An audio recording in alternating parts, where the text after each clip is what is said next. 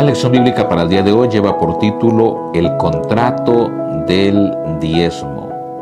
Vamos a Malaquías, el capítulo 3 y el versículo 7 en adelante hasta el 11.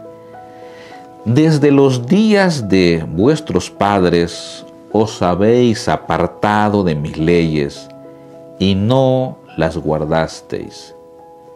Volveos a mí, y yo volveré a vosotros, ha dicho Jehová de los ejércitos. Mas dijisteis, ¿en qué hemos de volvernos? ¿Robará el hombre a Dios?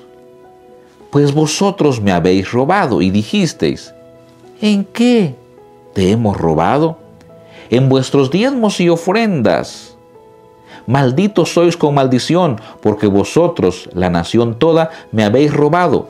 Traed todos los diezmos al alfolí, y ya haya alimento en mi casa, y probadme ahora en esto, dice Jehová de los ejércitos.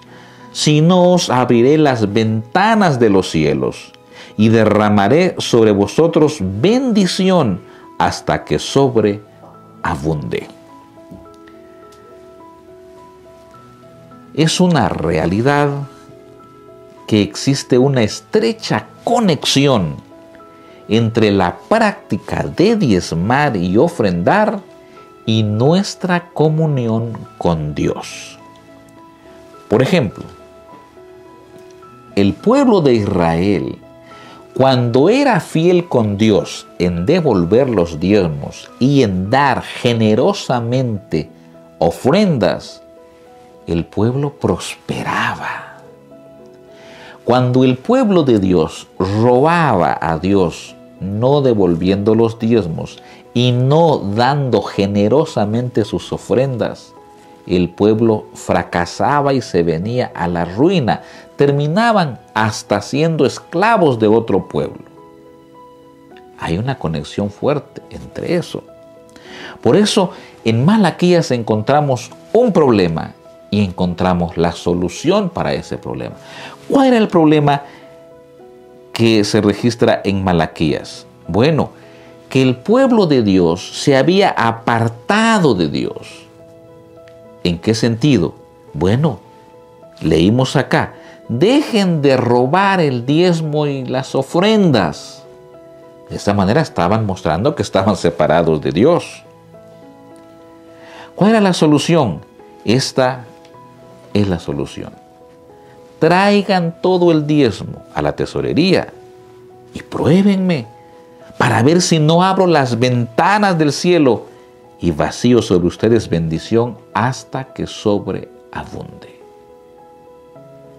La ventaja de este contrato con el Señor, de este pacto con el Señor, de esta manera de ser fieles con el Señor, es que Él no nos pide primero para darnos después. Dios primero nos da y de lo que recibimos, entonces de eso le devolvemos el diezmo y damos abundante ofrenda. ¿Qué lecciones podemos aprender para nuestra vida?